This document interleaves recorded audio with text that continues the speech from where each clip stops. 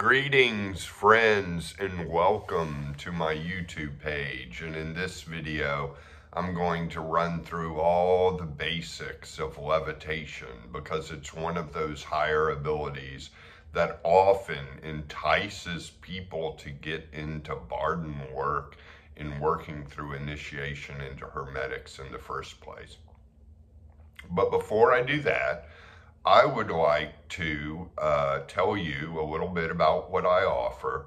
I offer individual coaching where I coach you through the steps, answer all your questions, and provide a safe space to process everything. And a component of that, only if you want, can be a form of mental health coaching that's more like psychotherapy. So I also see clients for that if that interests you. I also do group sessions where there's a transmission of Akashic light, and those are very cheap per person. And if you're interested in these, please email me at thegraveyardcowboy at gmail.com, thegraveyardcowboy at gmail.com, or you can go to my website at clintsabom.com. I also have online classes at Perseus Arcane Academy. I have a class on emotional release. I have a class on steps four, five, and six. And I think those are also great things that you might want to get. And those are very cheap as well. So I have a lot of stuff to offer and feel free to contact me anytime. So let's get to levitation. How do you levitate? What are the components about it? Yes, it gets people into Bardon work in the first place. And I will be honest, I have not heard a whole lot of talk about levitation on YouTube from anyone. I haven't seen a demonstration of levitation. Of course, maybe, it, well, at least not from Bardon teachers. I've seen demonstrations from uh, Buddhist monks that are on YouTube, if you ever check that out. However, so it is possible. It's certainly possible. And it's certainly possible working through Bardon's system as well. So uh, what do you need? You need the Akasha first if you're not at a point in your journey where you cannot feel your spirit aspect have a lot of Akasha charge and burn bright and shine light all the time. And when I do my transmissions, I basically get feedback that there was a force of light and emptiness that comes from my transmissions of Akasha. I also did a recent interview, interestingly enough, with this guy on my other brand, Contemplative Light, where he just kept saying I shined so bright. So it's good to know that others can witness my Akasha too. So how do you get the Akasha? What are some ways? Well, one way obviously is to work through the steps step by step. But what you can also do in the meantime, even if you're early in the steps, is pray a lot pray a lot to divine providence or whatever you want to use, whatever word you want to use. And the vacancy of mind really helps. The more you are in the great here now, as I've talked about the great here now being the single moment we are always living in, no past, no future.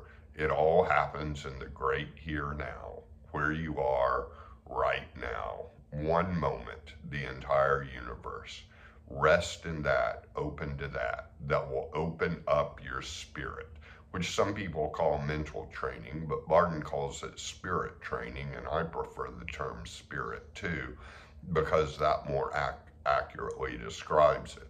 So you need the Akasha, and remember, the electromagnetic force comes from the Akasha. The elements come from the Akasha. So once you have the Akasha, you have the access point. And there are stories and accounts of people who have been able to levitate with just Akasha. For example, St. Teresa of Avila, the Christian mystic, levitated in chapel when she was doing Gregorian chants and prayers. And by all means, she didn't work through Bardon's steps. Bardon wasn't even alive yet. And she was not working with the elements according to all the research we have on her. It was all Akasha causing her to levitate. So Bardon does give two ways to levitate. I prefer the second one I'm going to mention.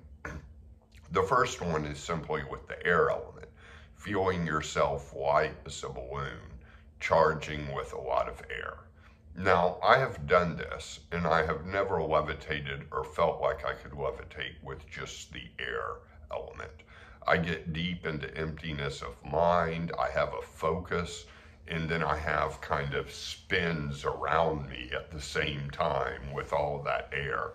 And it's deeply relaxing and it can take me into a deep state, but it has never gotten me feeling light as a balloon where I felt like it was a good path to meditate.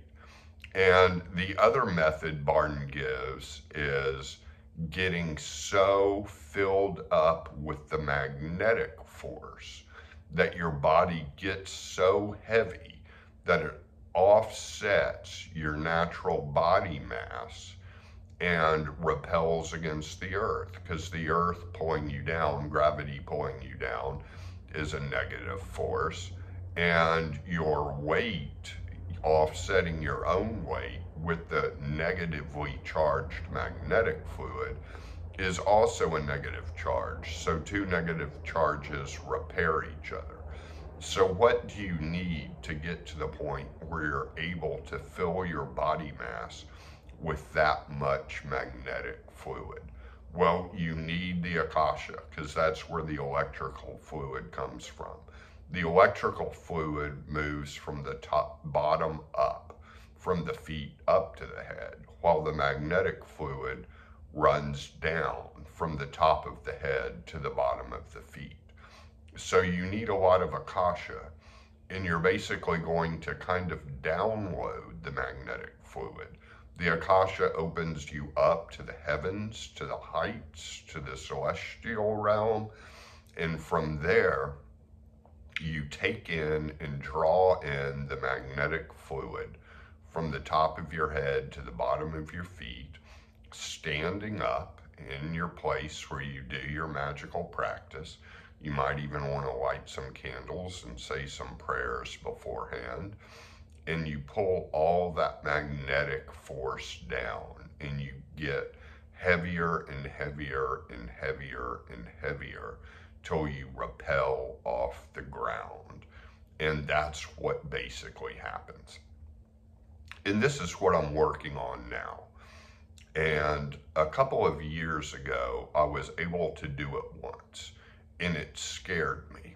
And I want to say a little bit about that you're not going to be able to hide, uh, achieve any higher abilities if you're actually scared of having them.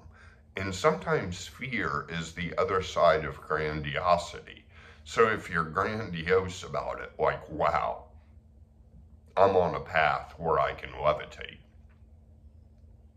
then the flip side of that is often a fear, a fear of actually doing it and being too wowed, being so wowed that you're overwhelmed by like the wow factor of it. So you've got to go into it just thinking like it's a normal exercise. And of course, you probably aren't at the point in the steps to do this, but I like being open about the higher abilities up front, anyways because that's what gets a lot of people motivated to do initiation into hermetics. So you fill yourself with that body mass and you repel yourself off of gravity and being scared of it. I'll tell you what I was scared of, and it sounds absolutely ridiculous, kind of.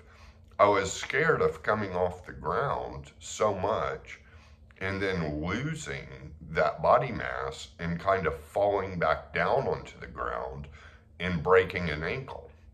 But if you can practice levitation and get there and you break an ankle in the process of it, well, oh well, you've made a lot of success. go to the orthopedist and get your ankle taken care of and then get right back to it. or you could also, well, you know, I don't know, but there's a risk factor in all of this. And there's a risk factor in all of Bardon. You need courage, but you also need level headedness. And so it's really a matter of having the Akasha, downloading the magnetic fluid, offsetting your own weight, getting heavier and heavier. And let me say this working on this exercise, even if you don't levitate, brings you a tremendous sense of grounding and flow throughout your system. And, excuse me, in order to be do this though, there's one thing that comes to mind that I read in a Taoist text on practical alchemy years ago.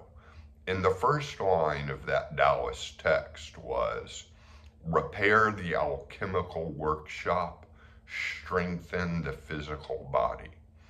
And I'm going to say people that go to the gym every day, that have an exercise routine, that keep their body strong, are going to find this exercise a whole lot easier.